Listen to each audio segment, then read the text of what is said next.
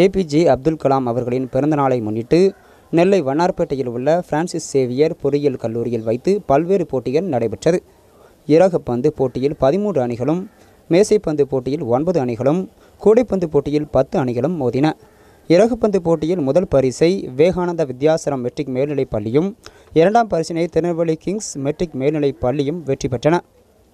மேசைப்பந்து போட்டியில் தூத்துக்குடி சக்தி விநாயகர் இந்து வித்யாலயா மேல்நிலைப் பள்ளியும் இரண்டாம் பரிசினை தூத்துக்குடி காரப்பேட்டை நாடார் மெட்ரிக் மேல்நிலைப் பள்ளியும் வெற்றி பெற்றன. கோடைப்பந்து போட்டியில் நெல்லை கிங்ஸ் மெட்ரிக் மேல்நிலைப் பள்ளியும் இரண்டாம் பரிசினை ராஜபாளையம் பிஏசிஎம் மேல்நிலைப் பள்ளியும் வெற்றி பெற்றன. வெற்றி பெற்றவர்களுக்கு இக்னேசியஸ் சேவியர் கல்லூரியின் பொது மேலாளர் பரிசுகளை வழங்கி பாராட்டினார். நிகழ்ச்சியில் உடற்கல்வி இயக்குனர் ராக்லண்ட் ஜெனிஸ் பாண்டியன் எஃப்எக்ஸ் கல்லூரியின் துணைத் தலைவர் ஐயனார் ராஜா இயக்குனர் கிருஷ்ணகுமார் வளாக மேலாளர் சத்ரியா ஆகியோர் கலந்து கொண்டனர். நிகழ்ச்சிக்கான ஏற்பாடுகளை ராமசுப்பிரமணியன் சுரேஷ்குமார் ஜெரிஸ் மற்றும் பிரியா ஆகியோர் செய்திருந்தனர்